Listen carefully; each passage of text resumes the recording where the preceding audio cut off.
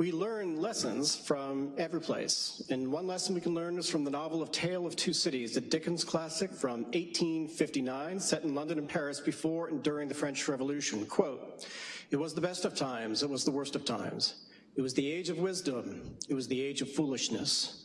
It was the epic of belief, it was the epic of incredulity. No one should forget Sidney Carton's heroic decision to sacrifice his own life to save that of the falsely accused Darnay. There are parallels today in a modern tale of two cities, this time set in Sonoma County. The two cities are Petaluma and Santa Rosa. That makes Rohnert Park our English channel.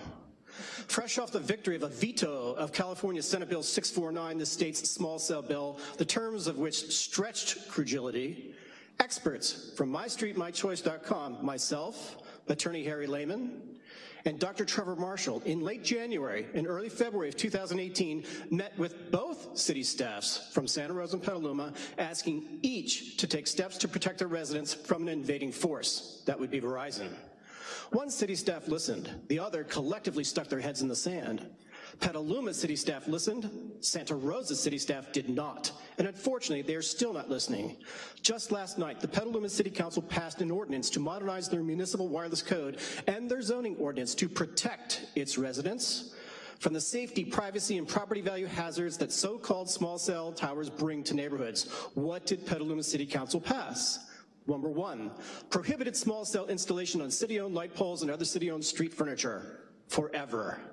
Two, allowed small cells on PG&E utility poles only in mixed-use commercial and industrial zones, not in residential zones. Number three, established a 500-foot setback from a so-called small cell to any residence in any zone.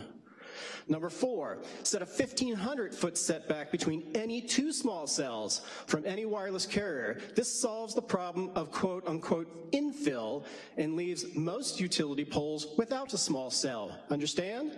You allow one here, you let four poles go, you put another one here, nobody gets to put them in between. Very smart idea. You should do that once every 3,000 feet because that's what Santa Rosa, that's what Verizon CEO says they need for their distances. So what is Santa Rosa doing? Santa Rosa has the same information and the same opportunities, but they're not doing them.